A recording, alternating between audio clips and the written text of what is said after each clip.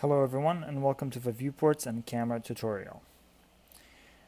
We start off with a default 4 viewport layout.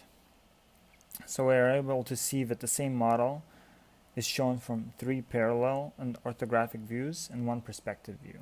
So you have your top, front, right, and the perspective view. To get back to this viewport layout, you can always right click on one of these tabs and select viewport layout and select four viewports. This will always go back to this four viewport layout.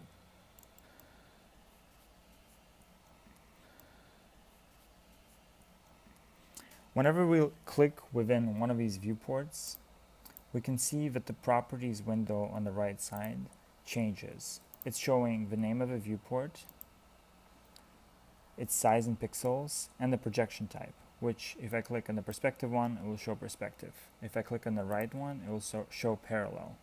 Let's stay in perspective for now.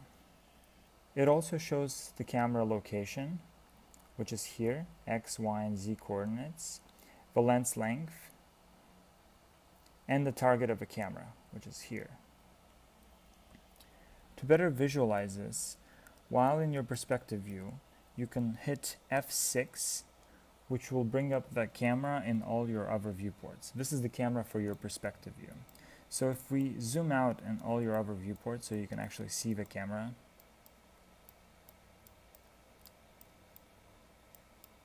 and then we go back to your perspective view, as we pan around, you will notice that the camera in the other viewports is changing. You can visualize how what we're looking at is affecting the position of the camera. You can also see that this changes its location in the properties window, as well as the target.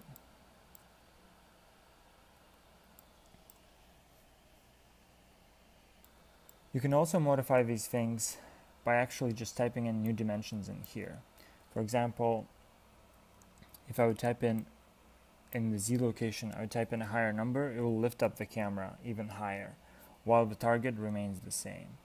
If, however, I want to look more forward, I can actually change the target. So I can type in a higher number in here in the Z location. And now I'll slightly pan the camera upwards, cropping out my view. Let's say I want to edit this until I'm happy with my view. I want to be slightly above my boxes. Something like this. We can actually save this view. I have this named views tab open, which if I close, you can always bring it up by typing in named view. Right here. And we can use the save button while making sure that the view we want to save is the one active and giving it a name, for example, view 1. And now it's saved. Now, if we go back to our viewport and we rotate the camera, and we lose the location we were happy with, we can always double click in the named views to restore it back to our view. So if I pan around again, double click, it'll go back to our view. If you double click on the saved view, it will apply it to your current active viewport. So if I have a right elevation active as a viewport and I double click on view, it will apply the perspective view there as well. To go back to the view that I had, I can right click in the tab, go to set view and pick the default right view. And you'll see that the projection will change back to parallel and now it's we're looking at the boxes from the right side again. Another thing you can control using the properties window is the projection type. So right now we have it set as perspective, but if we go to two-point perspective, you'll see that all the verticals are not intersecting. So now we're able to make two-point perspective drawings, which give you some interesting distortions if you look at it from angles that are become quite impossible. Or if we click on the projection type and pick parallel, we can have a more axonometric view of your Rhino model.